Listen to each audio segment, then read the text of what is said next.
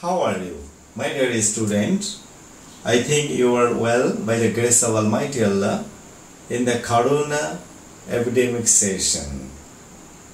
You are staying at home and keeping fit, maintaining hygiene. I am MD Yearul Islam, Assistant Professor, Department of English, Shimanta Adarsha College, Satkhira. Welcome to SS English.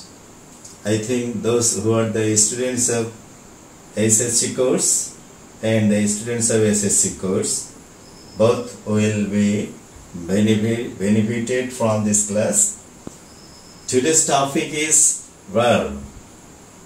So, I would like to elaborate everything regarding verb. Let's start. At first, we have to know what is a verb.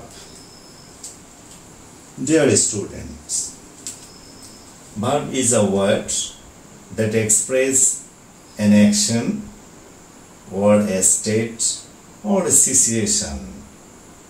So, what is a verb? Verb is a word that expresses any state that expresses any situation or action in a sentence.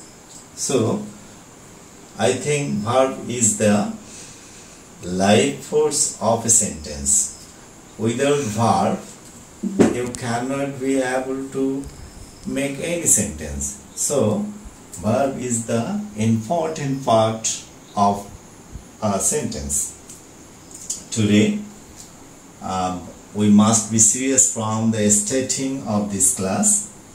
So, I would like to request you take your pen and notebooks with you uh, and take down what I am telling you.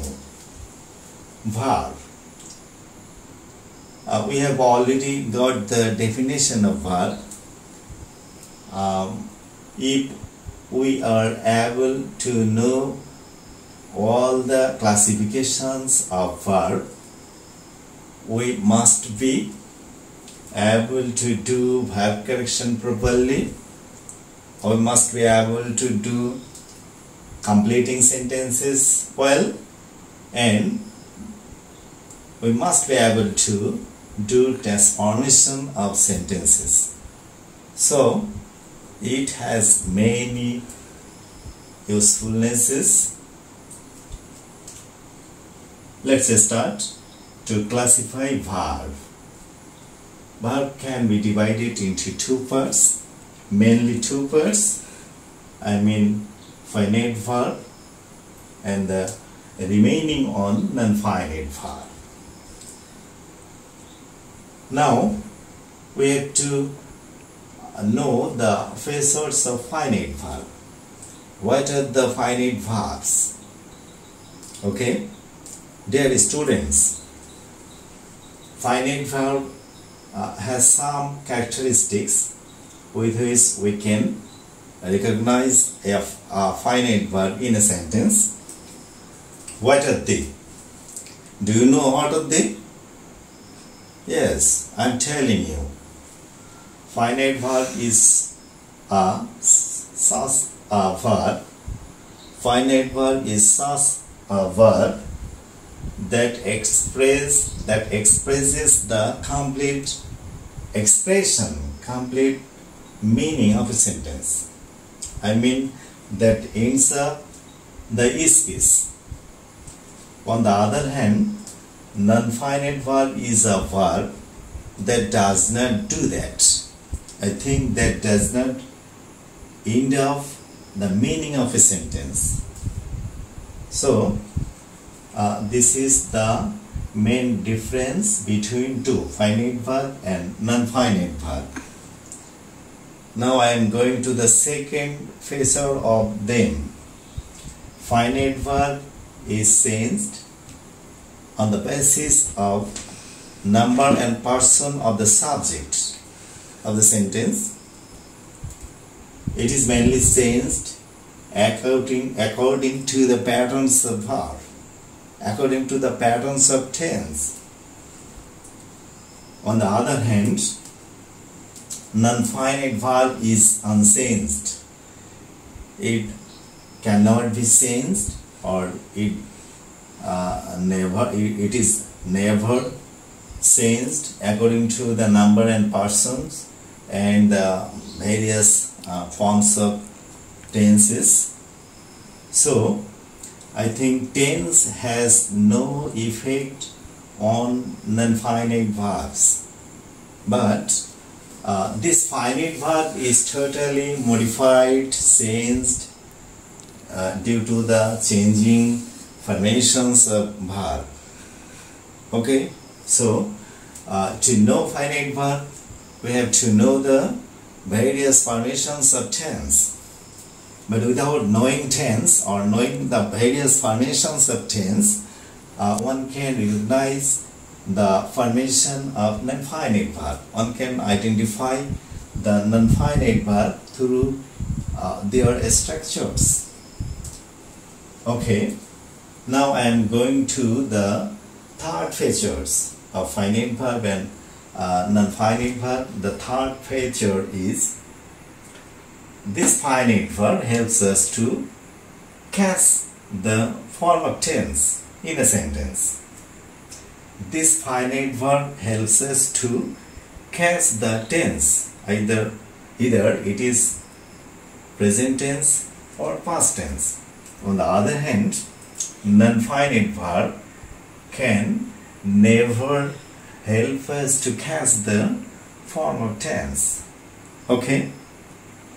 Now, I am giving you an example to you to clear the sense, clear the features of a non-finite verb and finite verb. She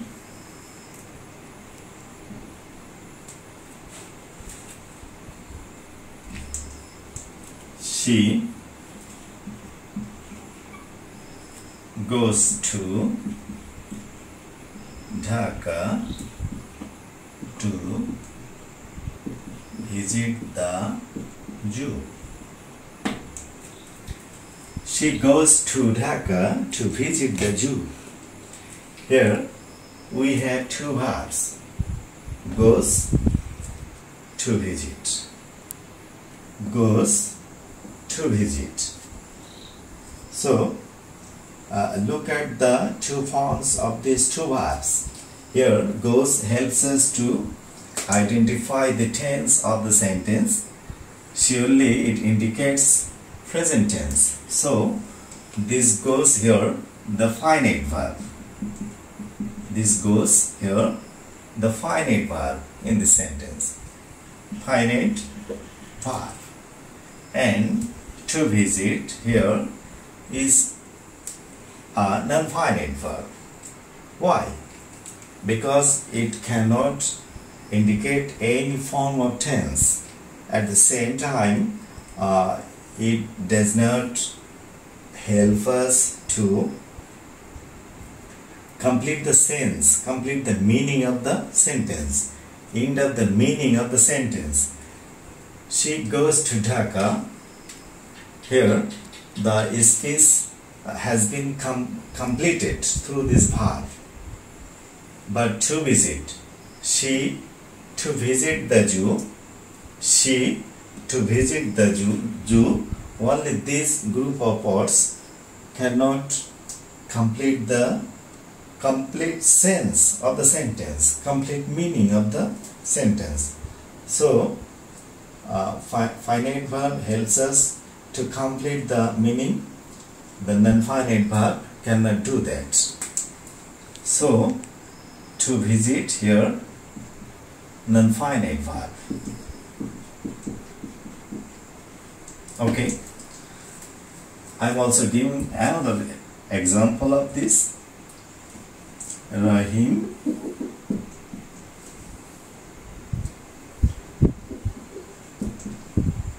Its eyes going home. Here we have also two verbs in the sentence. Number one is and the second one going. It's here completes the sense of the sentence and uh, also helps us to recognize the sentence cast the former tense so it's here the finite verb but going going does not indicate the former tense of the sentence at a time. Uh, it does not help us to cast the tense at a time. Uh, it cannot express the full meaning of the sentence. So here goes. Uh, is a non-finite verb? Non-finite verb. Finite verb so dear student what we have learned from this um, parts I mean this classification. At first we have known verb is mainly are two kinds finite verb non-finite verb. And I have also referred to you some features of both of them finite verb helps us to complete the meaning of a sentence. I mean ends up uh, the speech. On the other hand non-finite verb cannot do that. Finite verb is changeable but non-finite verb is totally unchanged. Finite verb helps us to cast the tense but non-finite verb cannot do that. Okay? Now now I am going to classify finite verb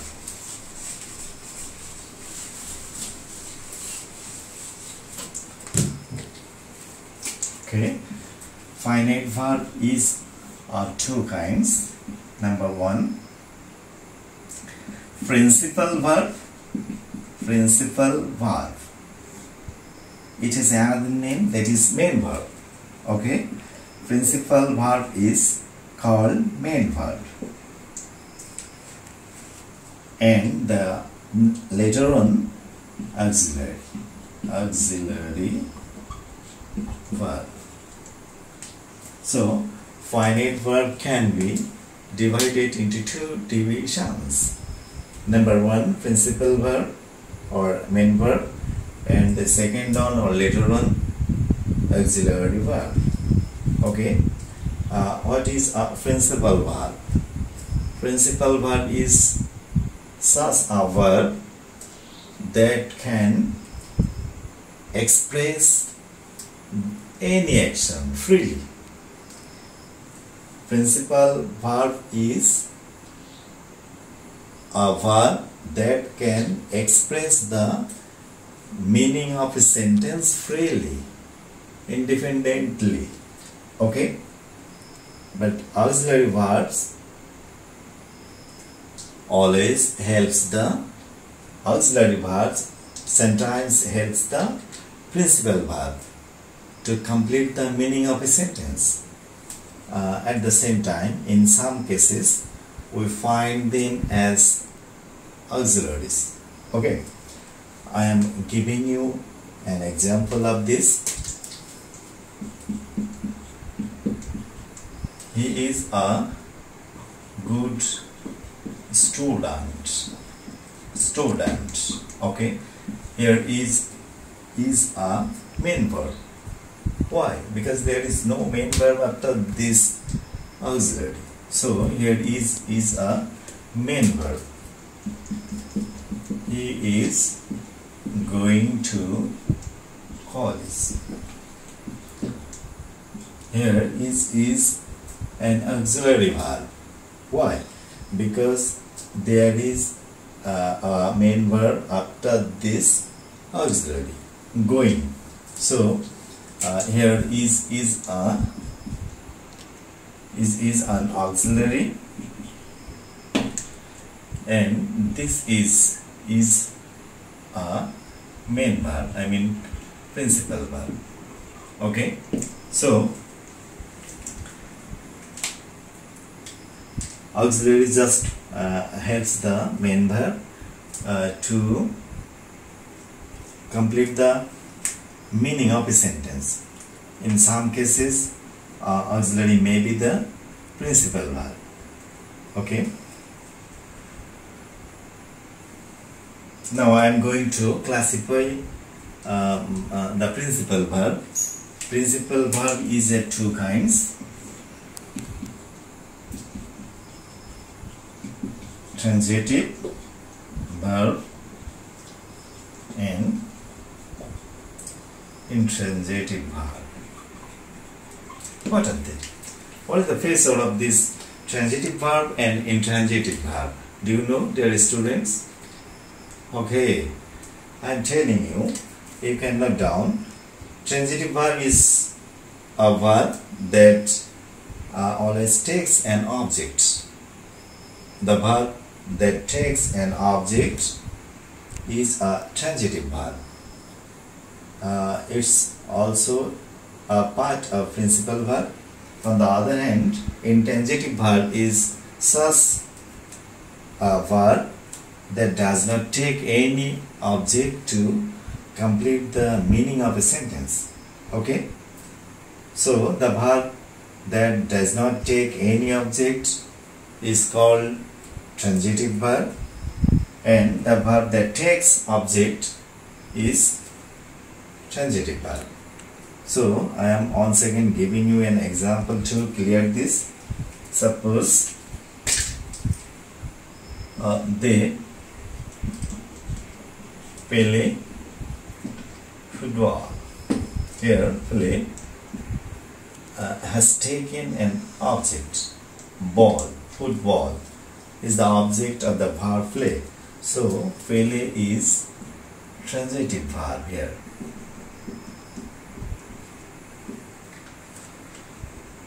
and they are playing. Now they are playing. Now they are playing. Here the verb play um, has not taken any object. So play here, I mean filling here is the intransitive verb. Okay. Why? Because there is no object after this verb. So, what we have learned from this section, transitive verb is a verb that always takes an object.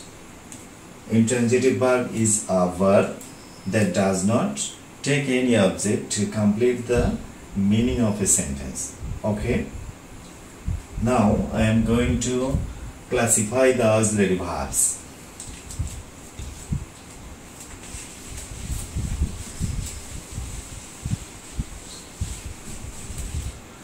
Dear students, auxiliary means helping, helping verb.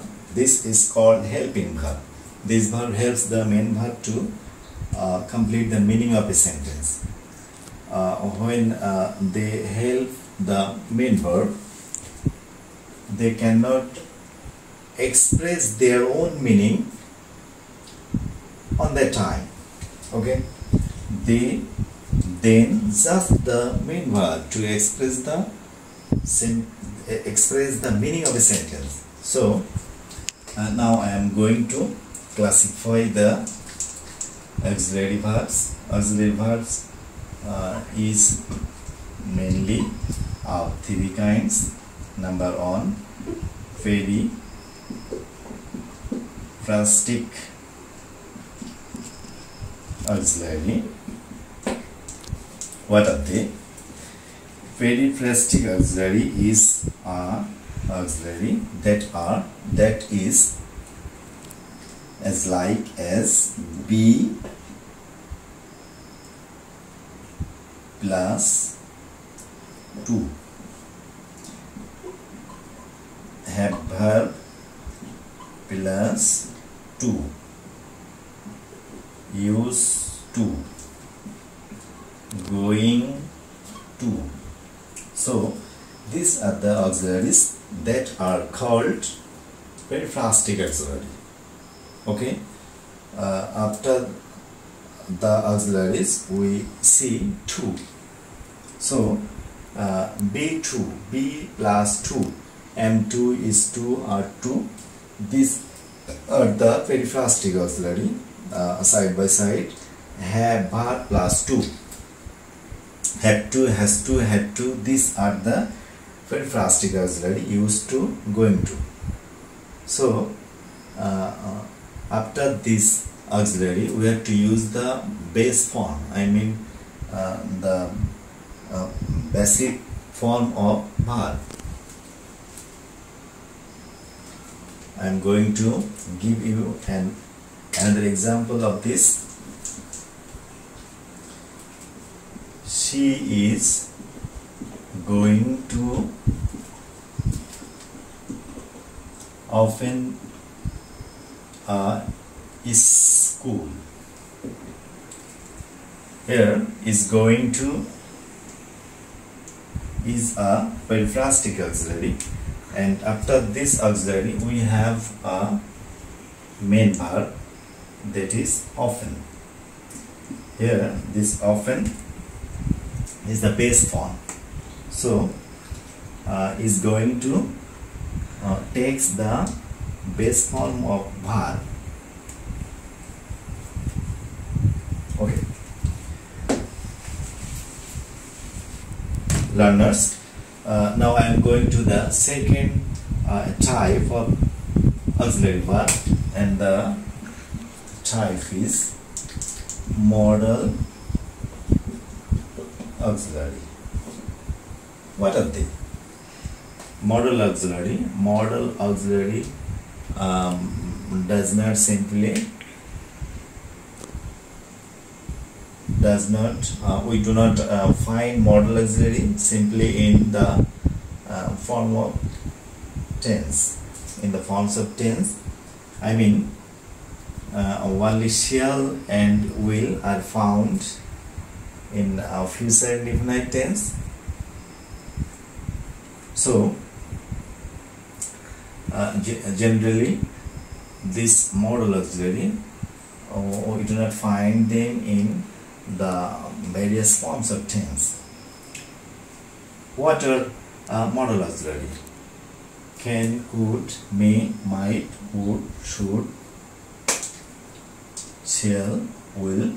These are the modal auxiliary. These are the modal auxiliaries. Can, could, should, would. Are the modal auxiliaries. Uh, in a sentence, modal auxiliary is merely uh, the auxiliary. It can never be the main verb of a sentence. So, after this auxiliary, we have to use the uh, base form of of a verb. Now I am going to the another section of auxiliary that is primary auxiliary. Primary auxiliary. These auxiliary are mostly seen in various forms of tense.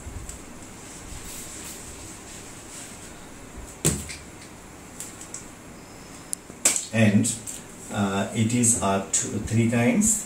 Number one, do verbs do, does, and did. These three are called do verb. Be verb and is, are, was, were. These five, these five are, these five auxiliaries are called be verb okay? Have far. Have has had. These three auxiliaries are called have far. Dear learners um, these are the primary auxiliaries that are mostly used in various forms of tense do does did after do does did um, uh, we have to use the base form of verb and after verb we have to use verb plus ing or verb 3 I mean the past participle uh, after have verb uh, we have to use the past participle form of verb thus uh, now we can see some examples of the uh, various uses of various auxiliaries I mean primary auxiliaries.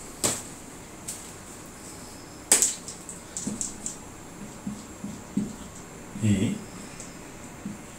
does not do that. After the auxiliary does we have to use the base form of this main verb do do. Do will be the same I mean do. After be verb what we have to use? She is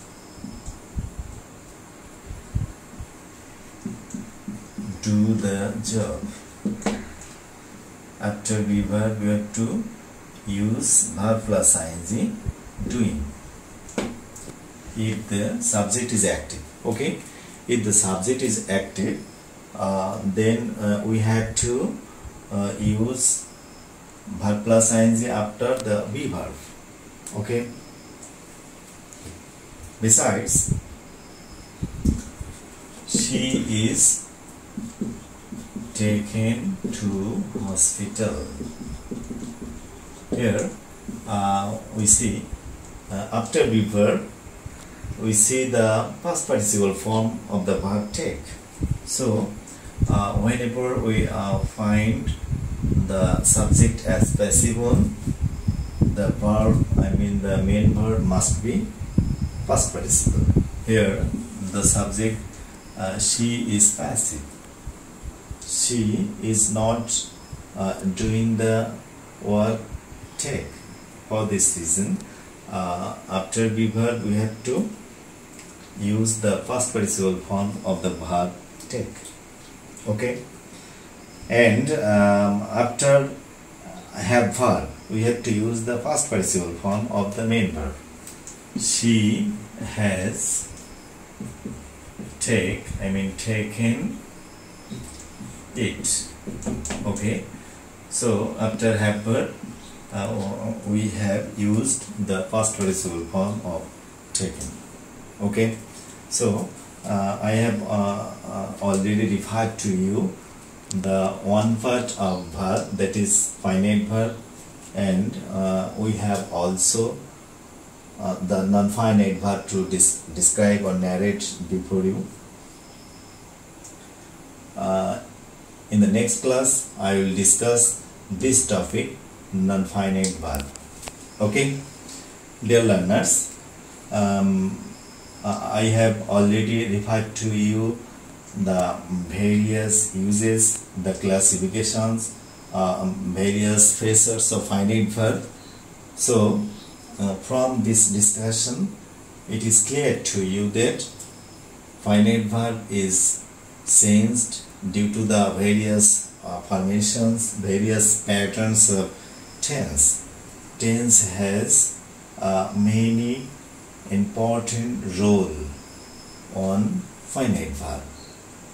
So uh, I think the class will be effective if you are the class will be effective um, to the students of SSC and SSC and SSC level uh, because without verb we cannot be able to uh, do the uh, related grammar I mean related topics.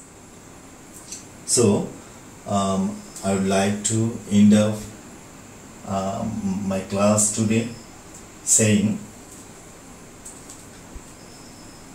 saying uh, you must stay at home and maintain the hygiene to protect the COVID-19 I mean coronavirus uh, be careful keep fit uh, thanks for staying with me for a long time.